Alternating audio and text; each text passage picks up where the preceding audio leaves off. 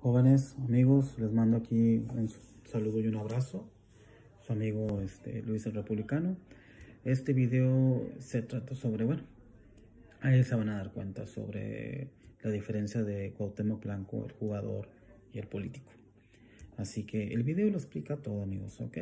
Así que sin más preámbulos, Particularmente lo que se ha dado a conocer respecto a las indagaciones de la Unidad de Inteligencia Financiera de la Secretaría de Hacienda respecto a un personaje que sabidamente pareciera predispuesto a cometer los peores errores de la política con una ligereza que va por encima de todo lo que pueda pues balbucear en política, como es el gobernador de Morelos, el exfutbolista profesional Cuauhtémoc Blanco.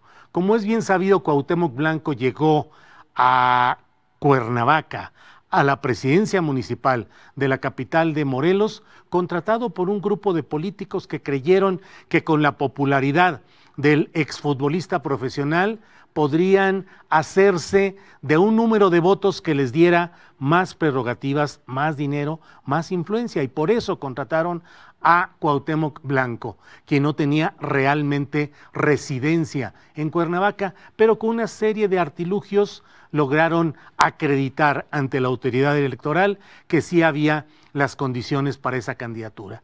Ganó más allá de lo que sus originales contratistas creían y esperaban, ganó la presidencia municipal de Cuernavaca.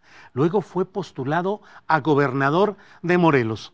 Morelos, una de las entidades donde se asienta pues más eh, eh, un pensamiento crítico, diría yo, hasta de izquierda, mmm, actividades culturales, intelectuales frecuentes, y les quedó como gobernador un personaje con una nula proclividad hacia lo intelectual o cultural, eh, lo artístico, como es Cuauhtémoc Blanco, con dificultades para articular un discurso político y desde luego con dificultades para articular políticas públicas.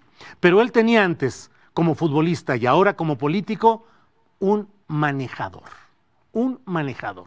Es decir, alguien que se, se, ha encargado de moverlo conforme a los intereses deportivos o políticos en este caso.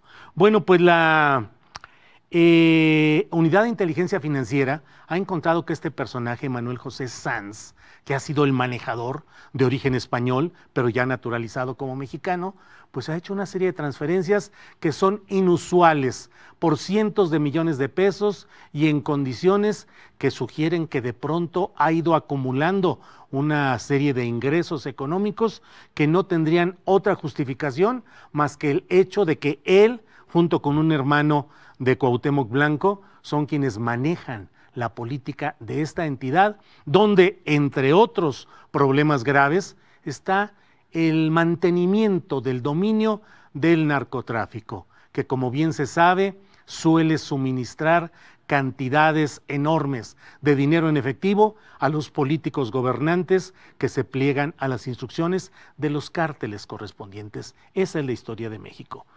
Ya veremos qué es lo que sucede con estas indagaciones, qué es lo que sucede con uh, Cuauhtémoc Blanco, que bueno, al estilo de Felipe Calderón respecto a eh, Genaro García Luna, y al igual que Miguel Ángel Mancera respecto a uno de sus exfuncionarios también detenido por corrupción, pues podrá decir Cuauhtémoc Blanco que él no sabe nada, que él jamás supo nada de este tema respecto a su manejador.